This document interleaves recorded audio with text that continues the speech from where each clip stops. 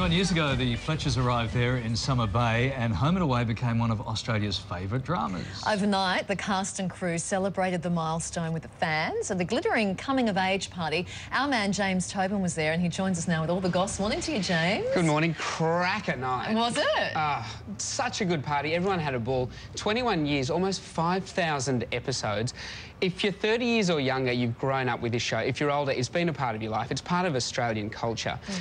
It was a great night. Old faces were there, new faces. This is a show that's made, you know, Heath Ledger, Isla Fisher, mm. um, Melissa George, these days Chris Hemsworth. So many big names have come out of this. Kyle and Jackie O were there uh, as MCs. They did a great job. And this is how we partied.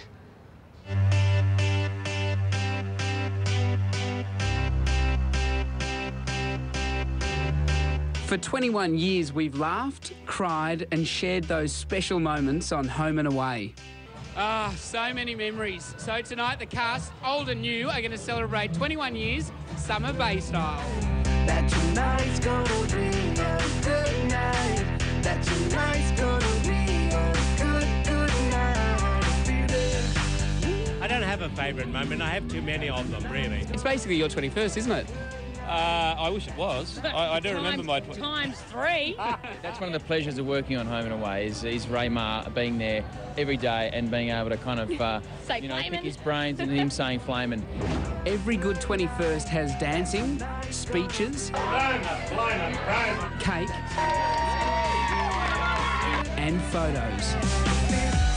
And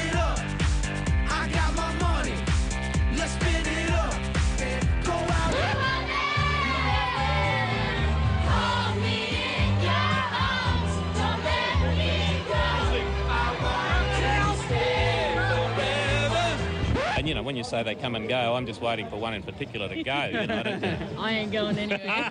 it's given many an actor a start. It was very special. You know, I think when I joined, I was only 18. In addition to being a training ground, it's like Australia's safety blanket. You know, it's it's our creature comfort. I, I just know you as Selina. Oh, I know. I think a lot of people do. It was a great experience. The people are lovely, Anything that's happened since I've started home and away, I never would have dreamt any of it. Like just the people I would have met, the people I would have worked with, the people that watch the show, it's just all amazing. We love Colleen. She's a busybody. I love it.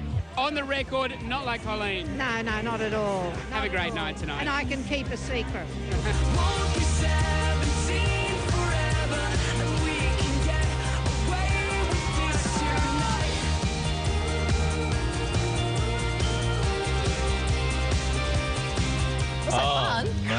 It was a cracking night. Not many shows can claim 21 years. What a real trip down memory lane. Yeah, it really was. Fisher was there. I spoke to him about old faces, and he wasn't very happy at me. But I, I meant, you know, like people from yesteryear. Marilyn was there. Remember her? She was yes. so ditzy on the show, and we yeah. spoke about how she would just get hassled on the street by people saying, "Why do they make you look so ugly on the show?" And she's like, mm -hmm. "It's it's just the hair."